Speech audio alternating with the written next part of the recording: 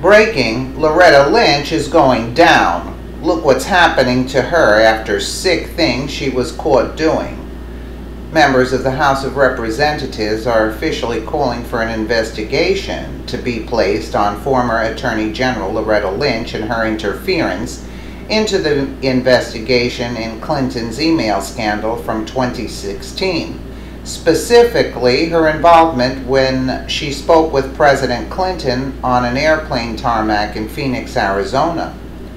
There is certainly a parallel with the three investigations into the president's ties to Russia, government officials, and their influence in the 2016 presidential election except both the House of Representatives, Senate, and Federal Bureau of Investigation are all investigating the president's ties to Russia while nobody is investigating Loretta Lynch and her alleged misconduct. The issue came back to the media headlines after former FBI Director James Comey testified before the Senate and House of Representatives and indicated that Loretta Lynch had asked him to refer to the Clinton investigation as a matter and not an investigation, something which was not previously made known uh, as public information. The former FBI director said the following while testifying before the Senate. The Attorney General has directed me not to call it an investigation, but instead to call it a matter, which confused me and concerned me that was one of the bricks in the load that led me to conclude I have to step away from the department if we're too close uh, to close this case credibly. The Clinton campaign at the time was using all kinds of euphemisms, security review matters, things like that for what was going on. We were getting to a place where the Attorney General and I were both going to have to testify and talk publicly about and I wanted to know what she was going to authorize us to confirm. And we, uh, we had an investigation, and she said, yes, but don't call it that, call it a matter.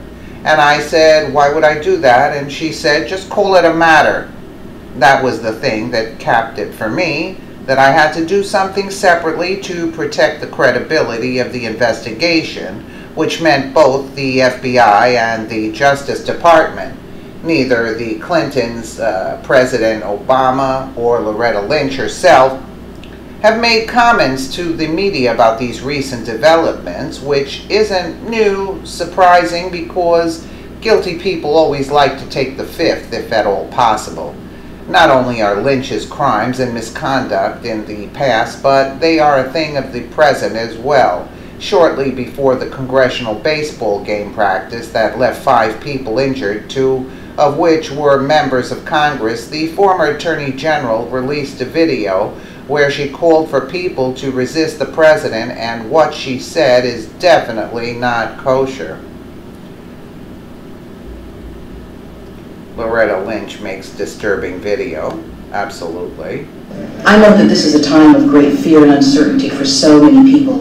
I know it's a time of concern for people who see our rights being assailed being trampled on, and even being rolled back. I know that this is difficult, but I remind you that this has never been easy.